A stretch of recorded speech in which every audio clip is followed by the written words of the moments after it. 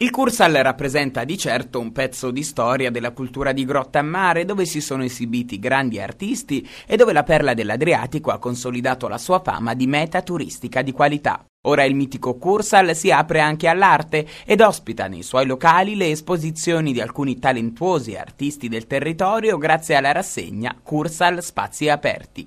L'iniziativa si aprirà il 19 marzo con le foto esplorazioni di Bruno Bruglia. La mostra Essere il viaggio proporrà una selezione delle migliori immagini scattate fra Nuova Zelanda, isole Tonga, Sydney e Hong Kong, il tutto corredato da filmati.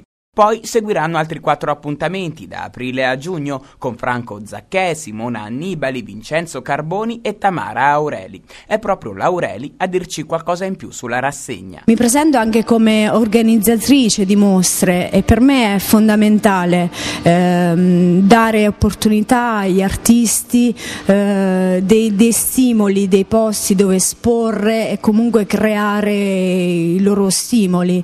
Ancora una volta il comune di Grottammare si conferma come centro di produzione culturale. Il vice sindaco e assessore alla cultura Enrico Piergallini commenta così Spazi Aperti un ritorno dopo un periodo di fermo, una volta che è stata recuperata la sala Cursal, per aprirsi alle esperienze artistiche del territorio. Un'iniziativa dunque che vuole portare al centro la cultura artistica del nostro territorio, in più documentare un fenomeno diffuso in questi anni, il fatto cioè che molte persone dedicano il loro tempo libero non ai centri commerciali ma alla ricerca artistica, un fenomeno che va segnalato e va sottolineato.